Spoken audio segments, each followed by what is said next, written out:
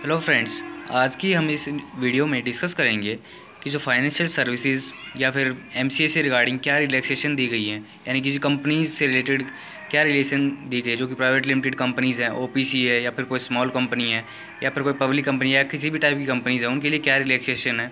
और जो banking sector है, उसके रिगार्डिंग क्या रिलैक्सेशन है, जो एक जनरल पब्लिक को बैंकिंग सेक्टर के साथ डील कर रहा है, उसके लिए क्या रिलैक्सेशन दी गई है, जो अनाउंसमेंट की गई है फाइनेंस मिनिस्टर के द्वारा। सबसे पहले रिलैक्सेशन दी गई है कि जो भी डेबिट कार्ड होल्डर है, वो अगर एटीएम से कैश विड्रॉ करता है तो उसके लिए कोई भी चार्ज नहीं लगेगा for the next three months next जो अनाउंसमेंट की गई है कि waiver of minimum balance fee यानी कि जो, अगर आपका मिनिमम बैलेंस जो थ्रेश होल्ड लगाई गई है, अगर उससे आपका नीचे होता तो आपको एक चार्जेस देने पड़ते थे, उसके लिए भी यहाँ पे वेव ऑफ़ किया गया है।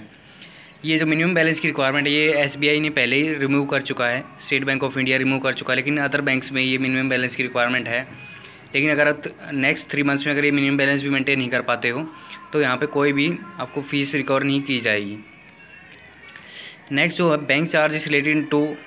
digital trade transaction जो कि यहाँ पे जो मर्चेंट डीलर्स हैं, वो यहाँ पे अगर बैंक के थ्रू ट्रांजेक्ट करते हैं तो उनके ऊपर जो चार्जेस बैंक रिकवर करता था, उनके उनके उनके में उन चार्जेस में भी यहाँ पे कटौती की गई है। नेक्स्ट जो हम कंपनीज़ से रिलेटेड मैटर्स हैं कंपनीज़ के रिलेटेड मैटर्स में बहुत बड़ी रिलीफ दी गई है। यहाँ पे बहुत ही ध्यान से पढ़ने वाली बात है। No additional fees shall be charge for late filing during a moratorium period from 1st April to thirtieth September two thousand twenty in respect of any document return statement etcetera require to be filed in the M C twenty one registry respective of its due date in respective of its due date it is very important which will not only reduce the compliance burden including the financial burden of companies और L L Ps at large but also long standing non compliant companies L L P to make a fresh start यहाँ पर सबसे बड़ी जो समझने वाली बात है कि यहाँ पर कंपनीज़ को बहुत बड़ी रिलीफ दी गई है। अगर वो companies first April to thirty September इस पीरियड के बीच में अगर कोई भी डॉक्यूमेंट फ़ाइल करती है तो उसका, उसकी कोई भी लेट फ़ीस या कोई भी पैनल प्रोविज़न इम्प्लाई नहीं होंगे। यानी कि जितने भी अगर पीछे फॉर्म उनके पेंडिंग रह गए थे, अगर वो एक अप्रैल और तीस सितंबर के बीच अगर कोई भी फॉर्म फ़ाइल करते हैं, कोई भी रिटर्न कोई भी स्टेटमेंट जो एमसीए के पोर्टल पे फ़ाइल करनी थी और आज तक नहीं हुई, आज की डेट तक नहीं हुई respective of its due date उसकी ड्यू डेट चाहे 2016 में 2017 में हो 2018 में 2019 में, लेकिन अगर आप फ़र्स्ट अप्रैल से 30 सितंबर के बीच में अगर उस रिटर्न या स्टेटमेंट को फ़ाइल कर देते हैं तो कोई भी चार्ज एमसीए के द्वारा रिकवर नहीं किया जाएगा।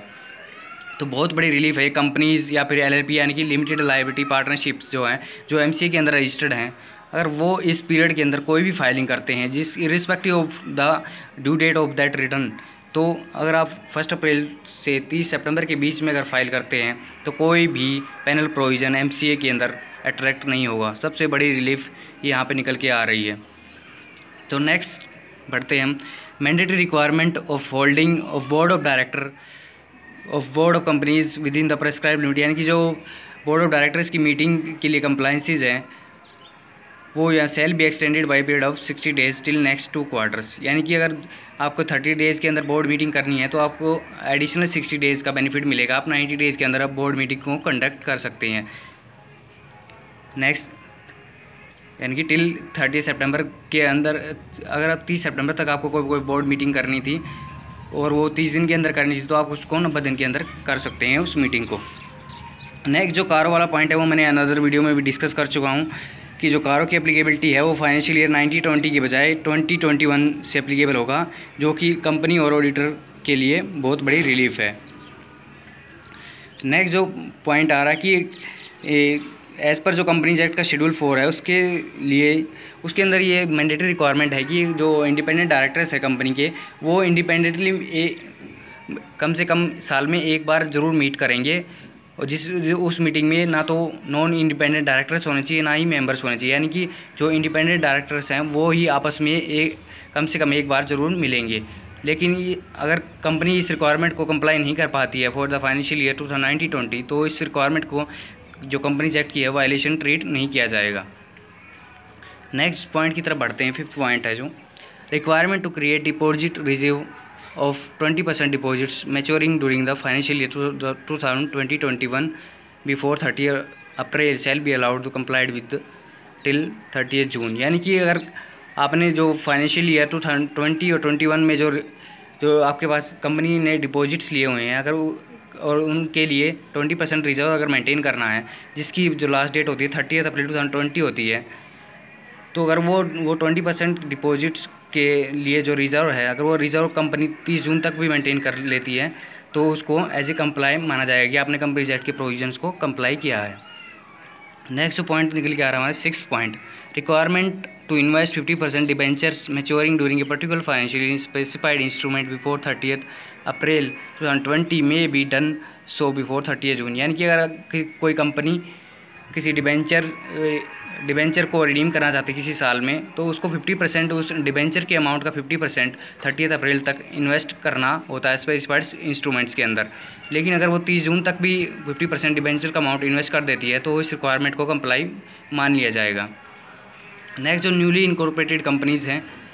उनके लिए जो कमेंसमेंट और बिज़नेस के लिए जो फॉर्म फ़ाइल करना होता है मेनली ये पब्लिक कंपनीज़ के लिए रिक्वायरमेंट है तो उनको सिक्स मंथ के अंदर इनकॉर्पोरेशन के सिक्स मंथ के अंदर ये फॉर्म फ़ाइल करना होता है। लेकिन अभी कोविड नाइन्टीन के आउटब्रेक को देखते हुए एडिशनल सिक्स मंथ उनको प्रोवाइड किए गए हैं। यानी कि वो एक साल के इनकॉर्पोरेशन के एक साल के अंदर कमेंसमेंट ऑफ़ बिज़नेस सर्टिफिकेट यहाँ पे फ़ाइल कर सकते हैं। Newly incorporated companies are required to file a declaration for commencement of business within six month of incorporation and additional time of six six more month shall be allowed यानी कि एक साल के अंदर वो फ़ाइल कर सकते हैं। नेक्स्ट जो एट्थ पॉइंट की तरफ़ बढ़ते हैं non compliance of minimum residency in India for a period of at least one one eighty two days by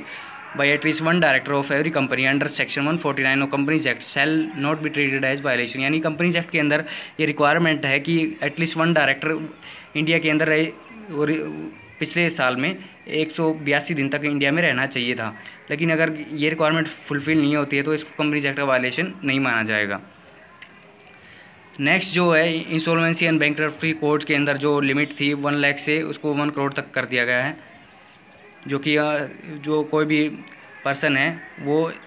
इंस्टॉलमेंसी and bank courts के अंदर इसका बेनिफिट ले सकता है।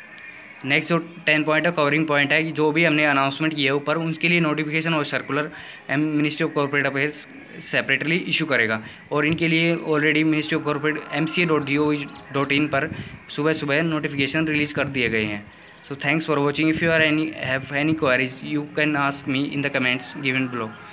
Thanks for watching.